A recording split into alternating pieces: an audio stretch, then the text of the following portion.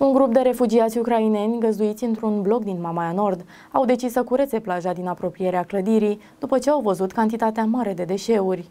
Refugiații respectivi au venit din Odessa. Unul dintre proprietarii care îi găzduiesc pe cei care au fugit din calea războiului a declarat pentru Dobrogea Live că după ce au văzut deșeurile de pe plaje, aproximativ 20 de refugiați, printre care și copii, au cumpărat mânuși de plastic și saci de gunoi și au mers să le adune. La această acțiune au participat atât persoanele mature cât și copiii. Ucrainenii au strâns mai mulți saci de gunoaie, printre care și materiale de construcție abandonate pe plajă.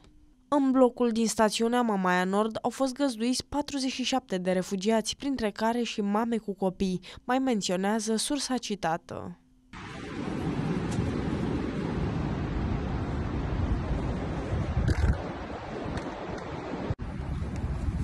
Să